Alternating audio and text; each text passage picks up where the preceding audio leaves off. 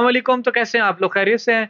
मैं आज आप लोगों के साथ एक इम्पोर्टेंट पॉइंट उन लोगों के लिए डिस्कस करना चाहता हूँ कि जिनसे अगर सवाल किया जाए तो वो कहते हैं कि सर हम अमेज़न सीख रहे हैं। तो सबसे पहले आपने एक माइंडसेट अपना क्लियर करना है कि आप अमेजोन सीख रहे हैं तो अमेज़न में सीख क्या चीज़ हैं?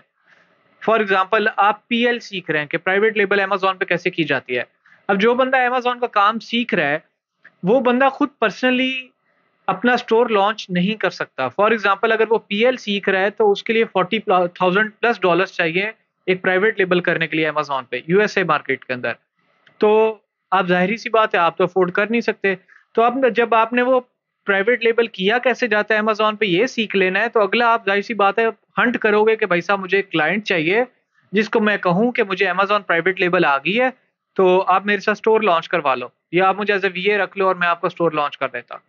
तो जो एक मैंने पर्टिकुलर वर्ड यूज़ किया है तो आप क्या बन रहे हो उसमें वीए बन रहे हो जिसको कहते हैं वर्चुअल असिस्टेंट। तो अब जो अमेज़न सो कॉल्ड अमेज़न सीखने वाला स्टेज है वो आपका एक किस्म का स्किल लर्निंग वाला स्टेज है।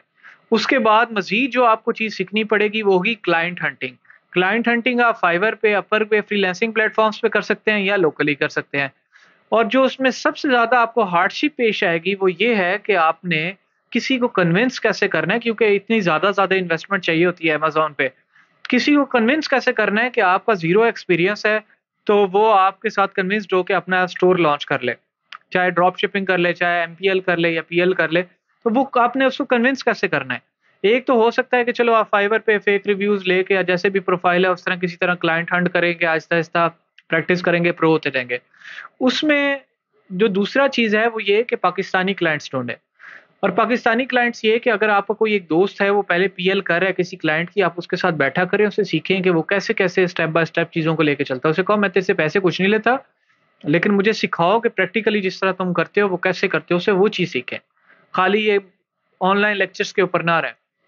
दूसरा जो उसके अंदर मेजर पॉइंट ये है कि जब आपने सारा कुछ सीख लिया है, तो आप अ, किसी बंदे को अपने फैमिली मेंबर्स के अंदर लोगों को कन्विंस करें कि यार मेरे साथ स्टोर लॉन्च कर लो।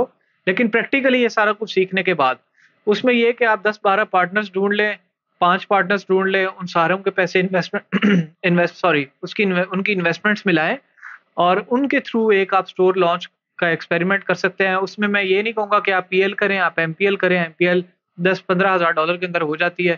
थोड़ा बजट होता है लेकिन आपका एक्सपीरियंस हो जाएगा। और एक्सपीरियंस से पहले भी ये मैं अगेन एंड अगेन रिपीट कर रहा हूँ, ऐसा नहीं करना कि आपने अमेजोन क्या सपोज़ एमपीएल कैसे लॉन्च की जाती है या पीएल कैसे की जाती है, ये खाली आपने ऑनलाइन लेक्चर सुने और किसी 2, 4, 5 दोस्तों को मिला के एक स्टोर लॉन्च करने लग गए। ऐसा एक्सपेरिमेंट नहीं करना, आप बुरी तरह फ्लॉप होंगे और आप लोगों की इन्वेस्टमेंट्स डूब जाएँगे बेहतर ये है कि जब थ्योरेटिकली आपने सीख लिया तो प्रैक्टिकली जो लोग कर हैं उनके साथ जाके बैठें, उनसे सीखें कि वो लोग कैसे कर। होपफुली आपको ये बात समझ आ गई होगी कि जिस तरह आप लोगों के लिए अमेजोन सीखना इम्पोर्टेंट है, at the same time it is equally important कि आपको क्लाइंट हंट कैसे करनी है क्योंकि एज़ अ बिगनर आप पे कोई ट्रस्ट नहीं करेगा। तो ये चीज़ माइंडसेट में माइंड में आपने रखनी है, ऐसे माइंड सेट के साथ सीखना है कि आप पहले मेंटली तैयार हों कि आपको बाद में क्लाइंट भी हंट करने हैं और आगे भी आपको मुशक्कत करनी पड़ेगी। होपफुली आपको पॉइंट समझ आ गया होगा। आपका मज़ीद इसके रिलेटेड कोई क्वेश्चन है तो ज़रूर कमेंट बॉक्स में पूछें। Thank you. अल्लाह हाफ़िज़।